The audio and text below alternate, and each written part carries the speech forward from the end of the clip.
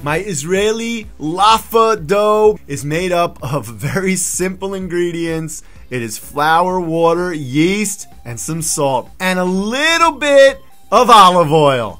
That's it. So I built a brick oven with my kids, and we're going to make Israeli style flatbreads.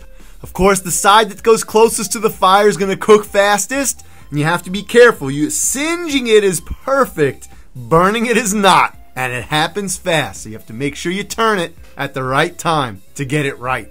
Oh, these are looking amazing. They're a little bit crunchy, they're soft, they've got a great smell even. Wow, this is to be delicious. So please share, and like, and eat delicious food with amazing people while discussing incredible ideas.